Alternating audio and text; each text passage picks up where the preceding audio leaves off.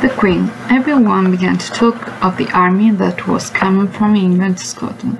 Everyone knew the Siward was leading the army. Macbeth was determined to fight his enemies and he collected his own army. At Macbeth's castle there were strange rumors about Macbeth's queen. Some people said the queen had gone mad, while others said that she was very ill. There was always a doctor there. One day, uh, of the queen's servant, one of the queen's servants came to the doctor. There is something very wrong with the queen, she said. She walks in her sleep. If you watch with me tonight, you will see something very strange. The doctor had the, and the servant waited in the corridor outside the queen's room that night. She will come soon, the servant said. She always comes at this hour of the night. I've seen her many times. Just then they heard a noise from the queen's room and the door opened. Macbeth's wife came out. You see, the servant said, she's walking, but she's asleep. But she's doing something, the doctor said. She seems to be rubbing her hands. She always does that, the servant told him. It's uh, as if she were washing her hands. I've seen her do that before. The queen began to speak to herself. I clean these hands. I must clean these hands. Don't be afraid, Macbeth. No one will know it was us. What a lot of blood Duncan has. The doctor was very excited. He touched Servant's arm. Did you hear that? he whispered. I wonder what that means. The queen went on talking in her sleep. Macduff had a wife. Where is she now? These hands of mine, they'll never be clean. One thing is certain, the servant said to the doctor. She has done terrible things, uh, this queen of ours. I can't help her, the doctor said. She is ill in the mind, and I can do nothing to help her. She will soon go to bed, the servant said. The queen continued to look at uh, her hands. Then she spoke again. Banquo is dead. He can't hurt you. My hands, my hands, my hands. Who will wash my hands? Then the queen returned to her room. The doctor thought about what uh, he had seen. It's true that she seems mad, he thought, but her madness makes uh, her tell the truth about the things she and Macbeth have done. They must have some terrible secrets. Macbeth waited for the enemy. Every day more of his men deserted him, but Macbeth did not care. Cowards, let them go, he thought. The soldiers who remain only obey me because they are afraid, frightened of me. This is the last battle I will fight. I am tired of my life. I have no friends. Then he remembered the words of the witches. No man or woman, Born can hurt Macbeth. Ha, he said to himself, I'm not frightened of any man. Macbeth can't defeat me. What else did the, the witches tell me? Now I remember. Macbeth will never be defeated until Birnam Wood to Dunsinane Hill and marches against him. That's it, he thought. I'll take my army to Dunsinane Hill. I cannot be defeated there. There is still hope. I am ready to fight now.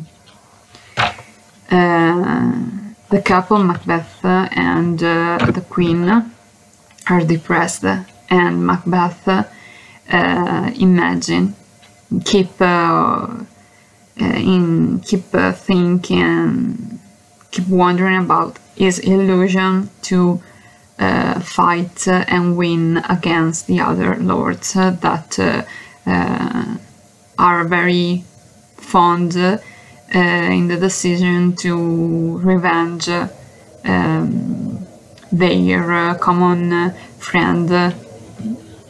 Macduff.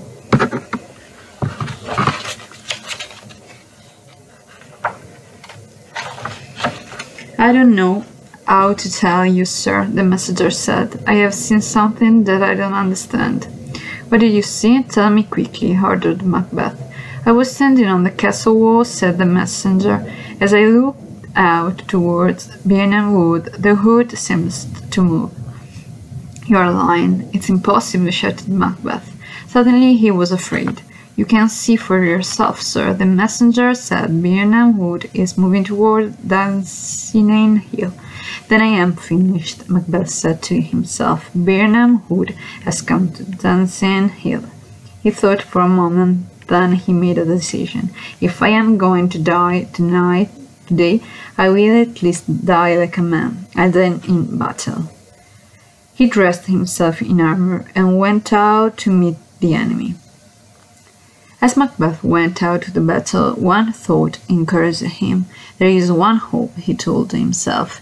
None of my enemies can kill me. The witches told me that I can't be killed by any man born of woman. Macbeth fought against the English army with courage.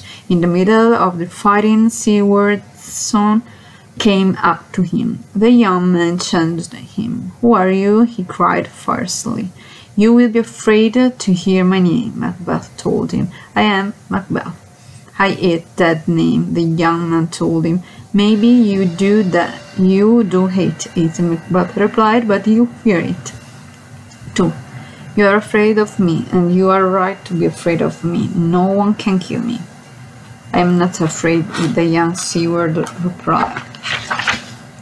They look out their swords and began to fight. Macbeth killed the young man. He looked down at the young man's body. You could not hurt me, he thought. You were born of woman.